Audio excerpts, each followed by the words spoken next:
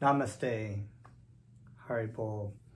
My name is Janapati Das, and today what we're going to do is I'm going to talk a little bit about how I came to the process of sadhana bhakti, or the hearing and chanting of Krishna's names, the uh, story in my life of how I came to this point.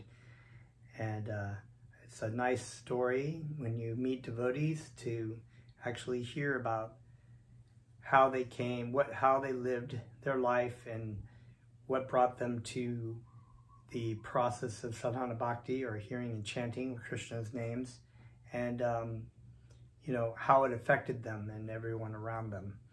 So this is my story, and um, let me offer my first offer my respectful obeisances unto my spiritual master, Jagat Guru, Siddhaswarupananda Paramahamsa Srila Prabhupada, whose mercy and kindness uh, has brought me to where I am today. Um, without his mercy, without his kindness, without his love, um, my life would be completely useless. And so I, I forever offer my respectful obeisances to his lotus feet in the hopes that I may be pleasing to him and to Krishna and to Lord Chaitanya. Uh, I would like to offer also offer my respects to you for seeing watching this video. Please feel free to subscribe here to my channel um, and uh, make any comments on the on the videos here.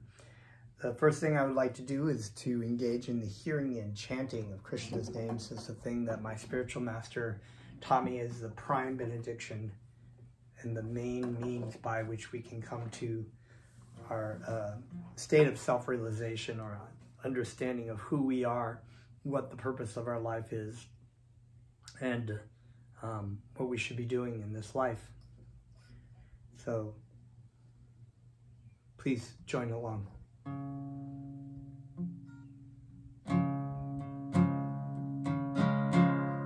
Not mine.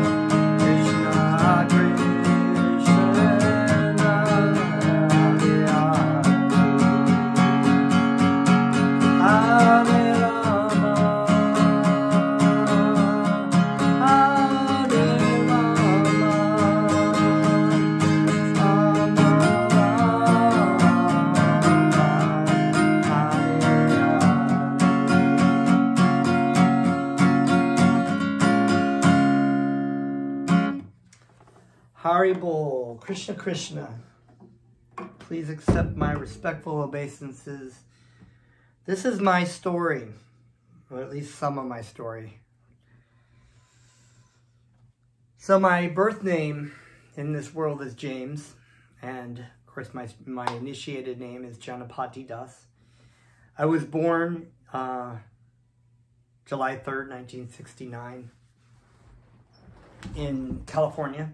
Sacramento, California. I basically grew up in Davis, California, in a family, in a Catholic, heavily Catholic family of seven, uh, seven kids. And as I said, I, I grew up in, with a background in Catholicism and Christianity, of which I'm actually eternally grateful for, even though I didn't continue becoming, being a, a following the Catholic tradition um, I was, I am eternally grateful that I was brought up in a somewhat moral and uh, religious family. Um, my parents are very loving. They were very loving. I grew up in a very loving and supportive family. Um, and um, I had a very strong uh, spiritual inclination, I think, from a very young age. Uh, I used to have a, a lot of really intense spiritual and religious dreams as a child, um, much to the excitement of my mother, who would uh, hope that I would one day become a priest or and, but I had very heavy sim, symbolic and religious dreams about Lord Jesus Christ. And so I had a very strong attraction to Lord Jesus Christ, and I, that still remains to this day. Um, I think probably, you know, when I was getting older, around 16 or 17, I, I started having questions about, you know, the, the Catholic faith, um, which I, you know, I, I don't want to make this a, a, situation of, you know, bashing on any kind of religion. Um, but I felt like there were inconsistencies in the philosophy that I just, I didn't understand, like, you know, the difference between you know, who is God was supposed to be Jesus and Jesus was God, but how is it that God sacrificed himself? If God would sacrifice himself in death or would die, then everything would cease to exist. And so by the time I was, you know, you know, already 18, I was questioning things and uh, had some, you know, but I still had a very strong uh, love for Lord Jesus Christ. And um, by the time I was 21, I had gone off to college and um, I found that, you know, that experience was quite a, um, what do they call that, a, a uh, paradigm shift, being in a completely new environment on, the, on, my own, going to a different school that really wasn't, you know, t- two and a half or three hours away from where I grew up. But I mean, basically separating myself out of that, out of my family uh, situation there um, led me to um, have a lot of struggles, which you know nowadays don't don't really seem to be. Uh, so so um, you know serious as they were at the time, but that I I found myself questioning more and more religion, and um, I, it led me on to I guess that was sort of a time where I felt like I was an agnostic. I, I kind of proclaimed myself an agnostic, and I started reading a lot of stuff. And I think that reading, that search for knowledge, um, led me on through the you know through the rest of my life. Um, and when I was, I would say, I had a lot of really interesting experiences during that time. A lot of traveling to different countries experiences of different cultures and different traditions and different spiritual and religious traditions that I read about and I studied and and I wondered, you know, is it is it just, you know, is it that there's more to this? Is this, you know, the Christian faith right? Is it wrong? Is you know? So I had all these questions that I, I, I was searching for, and I read and a lot of things, and I just kept it kept compelling me and kept drawing me towards a situation. Now, when I was um, uh, about, I guess, 20, 27 or 28, yeah, probably 27, 26, 27, uh, I had a situation where my my my grandmother passed away, and I had gotten some money. I had been in a relationship that was really sort of toxic with uh, my ex girlfriend at that time, and um, receiving that money sort of compelled a different paradigm shift where I left, you know, broke up with my girlfriend and got out of that toxic relationship and, you know, uh, shifted into another more positive situation with certain kind of friends and whatnot. And um, receiving that money made it so that I was able to travel to um, West Africa to study uh, music. now that was a very compelling situation because um, being in that environment and studying music in a rural area of, of uh, Ghana, what southwestern Ghana, um, made it so that I could uh, that I was very attracted to that. You know, I'd been in San Jose, California for a while, and I felt like, you know, I'd been there eight years, and I felt like something needed to change. So, this going to Africa made a big difference because it sort of, I when I got back from that experience of studying music there, I felt like, excuse me, I felt like um, I wanted to do it again. So I enrolled in the Peace Corps, and the following year I went to the, uh, the Republic of Gambia. Gambia was it was a very that Peace Corps experience was extremely uh, vital and, and, and, significant event in my life. That two years was so deep and so uh, compelling that um, when I got back, I felt like I had a really bad culture shock. Um, while I was there, it was a Muslim country, so I had started to read about the um, about Islam, and because it was a Muslim country, and I started reading the Quran.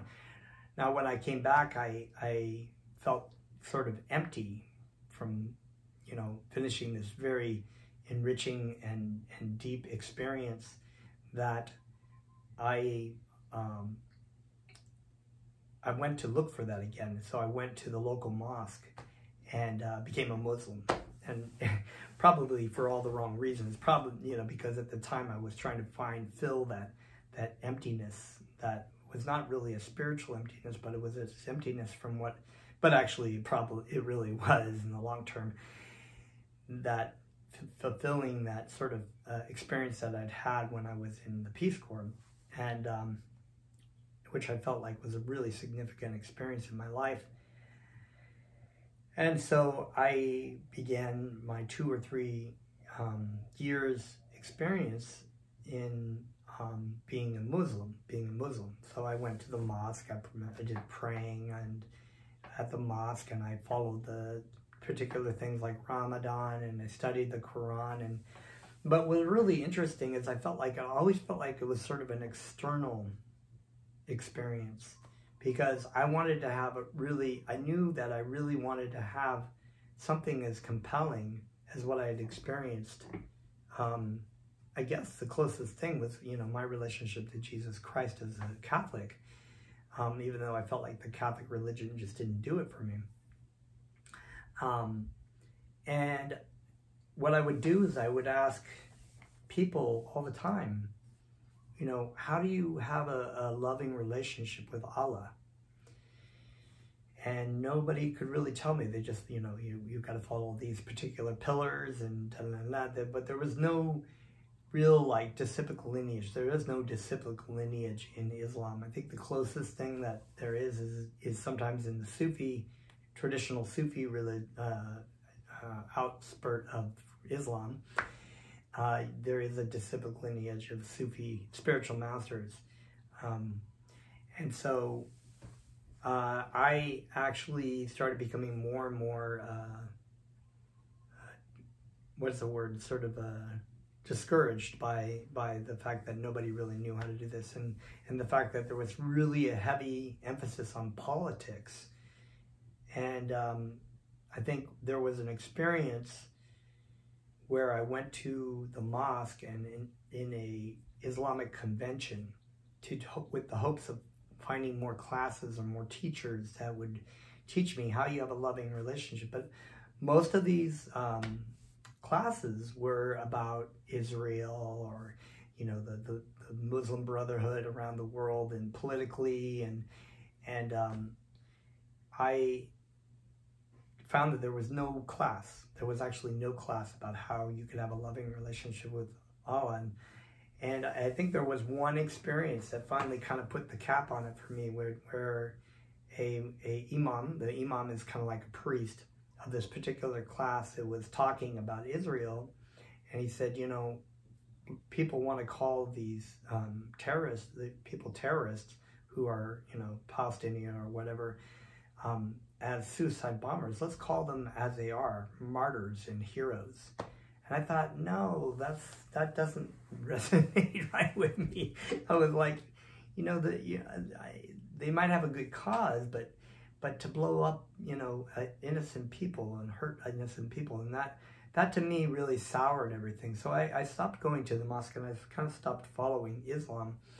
And incidentally, later on when I found met, you know, was introduced to Sadhana Bhakti and you know learned about um, my spiritual master Siddhaswarupananda, uh, I learned more about Islam and religion than I'd ever learned from previous experience in those things. So fast forward a little bit about three months after I had stopped going to the mosque, you know, and I'd also had all these attractions, like I was still, you know, doing certain kinds of drugs and, and whatnot. And um, I couldn't lose the attraction for that. And I felt like in my heart, I shouldn't really be doing this, but I wanted to do it, but I couldn't really find a real legitimate reason why I shouldn't do it. And I was going along in Sacramento and on my bike, and I was going through Sacramento State University when I came by a bulletin board that had a flyer. And the flyer was for the Lotus Garden Meditation Center, which is one of the centers in Sacramento that teaches about Bhakti Yoga and Sadhana Bhakti and meditation. And I saw, you know, I read it and I thought, oh, that's really interesting, you know, because I was, you know, even though I was following Islam, I, I, I read all kinds of books about you know everything from different kinds of yogic texts and uh, Buddhism and this you know the Diamond Sutra and you know all these books that I've read. You know I read the the um, the um, I was just skipping my mind, but you know of course the the Quran and the Bible and all these different you know people this spiritual writer and that spiritual writer, but nothing really was resonating with me seriously. But I saw this flyer and I thought, oh, that sounds really interesting. It's here in Sacramento. Maybe I should go to that. So I went back and went home and I, I forgot about the flyer. And so uh, a week later, I was somewhere and I saw the same flyer and I thought, oh, there's that flyer, you know. I should go there, you know.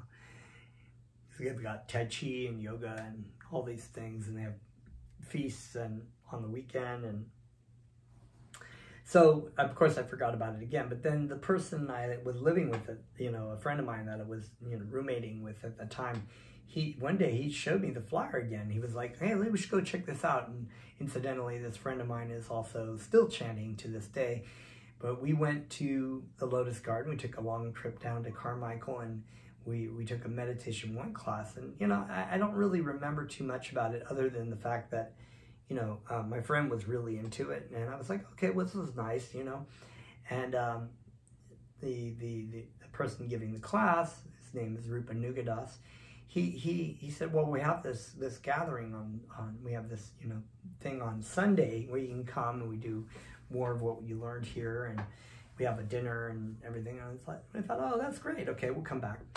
So Sunday we came back and we came and everybody was there and and I realized, wow, okay, there was more to it that I picked up on this time. The fact that there was a lot of singing and the kirtan that we're doing, and, and there these pictures of Krishna everywhere. I was like, whoa, what is this? You know, like, it's very interesting.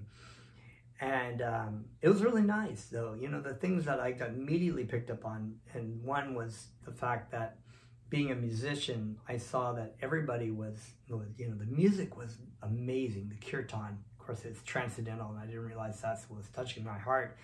And um, so I, I, I was like, okay, this is this is really amazing, and of course the food was really amazing, which is Mahaprasadam or Prasadam, which is not different than Krishna. And uh, the thing I noticed about the music though was that you know having played in clubs and whatnot, you go there and people are all like, it's like a, a sketchy scene. Like people are checking you out. Who's that? You know, who's that boy? Who's that girl? Looking at you and everything. But everybody at this kirtan was just focused on the singing of kirtan, of singing the mantras. And I just thought that's amazing. They're all focused on Krishna here. And it's really, really wonderful. And so um, I kept going because it was something really fun and I was very attracted to it. And I, you know, my friend who I was rooming with, he was he was also into it. So we would just drive down to the center every Sunday and do that.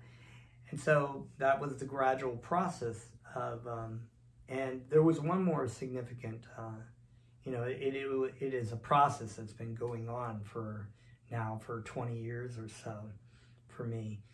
Um, and there are many, many stories within that that that uh, reflect uh, the, the experiences that I've had that have shown my spiritual growth and um, and wonderful things that have happened and, and you know meeting my spiritual master and being initiated by my spiritual master but one very significant event was about two or three weeks after I'd come first to this meditation class I went started going to this camping meditation camping thing that was at Mount Diablo and there were two really nice disciples of Srila Prabhupada and and one who's also a disciple of Bhaktivedanta and their names are Kalavati Dasi and Smaranam Das, and they would have these camping treat, retreats up in Mount Diablo, which is like Concord, California, like that area. And um, just a big mountain, right? And uh, so I would go to this, and I remember I was going for a japa walk one day, and that's a meditation with the beads, of course. and I was going up the, the hill, and I just had this feeling that I want to pray before I started doing my, my meditation of my japa. And I said, you know, I just said, Krishna or God or whoever, whatever your name might really be, or if it is Krishna, I said, I, am tired. I can't look, I can't put this kind of energy anymore into looking for you. My life is, I'm unhappy in my life, and I just need to be with you, God. And if this is not what I'm supposed to be doing, please don't leave me on anymore. Please don't just tell me that this is the right, wrong or right thing to do. I just need to know. And actually, that night, I had a dream. And the dream was that I was coming down out of the mountains after that Japa walk, and there was a storm brewing up in the mountains that was coming, going to come down into the valley. And so there was no way for me to return back the way I came. And so I thought, oh, I have to take shelter. I have to take shelter for the night. So I, I got out my blue tarp and tried to set up my set up a makeshift uh, tent. And the storm blew in, and I was in there just getting wet and just like, oh, it's miserable. It's like really bad makeshift shelter. And I looked over, and there was a ranger station, a log cabin, right? It looked warm and inviting, and I and I thought, I wonder if I should go over there and I was deliberating, you know, oh, I, you know, don't want to disturb them or, but, you know, I'm getting wet and unhappy over here. I should go to that log cabin and take shelter. And I knew immediately that was my answer that, you know, there is a symbolism, of course, coming down out of a journey, you know, and not being able to go back the way you came, but to go forward, and, but you have to take shelter. And, you know, of course, my brother in law told me later that he, it was interesting that my makeshift shelter was blue, you know, like a fake Krishna. Like I was trying to take shelter in myself and it was just not working uh, well. But I saw that there was a, shel- a strong shelter in Krishna and my spiritual master that I should be taking shelter in. And um, so, you know, I took the shelter and continued to take the shelter. And that's, you know, that was, you know, uh, it wasn't just an immediate thing, but uh, I found that that like I just kept applying the process and that I found that it just revealed itself and it continues to reveal itself uh, ever, ever more. And so I, my, my, with my prayer for you and my hope for you is that you just take shelter to trust the process, to take shelter every day, not in your mind and your own achievements, but in Krishna and your spiritual master, and to hear Krishna, you know, to take take shelter in that process enables it so that Krishna can, you know, so that, that what they call the the um, bija lata, right? Bija lata, the seed of devotional service that your spiritual master gives you. If you cultivate it with water and you protect it with a fence from any kind of offenses, and you try to cut away the the you know anarthas or unwell unwanted uh, desires um, you'll find that your, your spiritual life will grow, that Krishna's light will shine from you, and you can you can help others truly. So that is my brief story of uh, you know there are many many other stories. Hopefully, uh, I'll get a chance to tell those about different situations that I've had in my life because of my um, taking shelter of my spiritual master and and Krishna and Lord Chaitanya's. And so. Thank you very much. Let's chant a little bit. Haribol.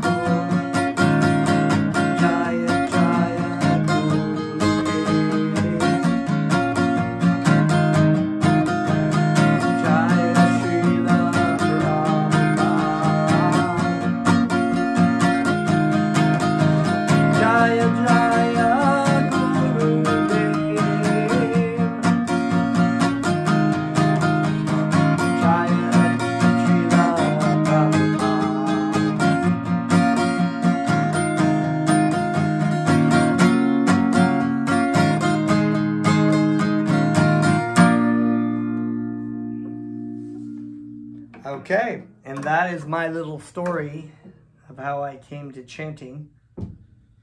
There's a lot more to it. Maybe someday I'll hopefully add in a few different stories of my experiences. Uh, feel free to comment below, and even if you have a little bit of your own story, feel free to share in my comment section. Thank you very much. Haribol Namaste.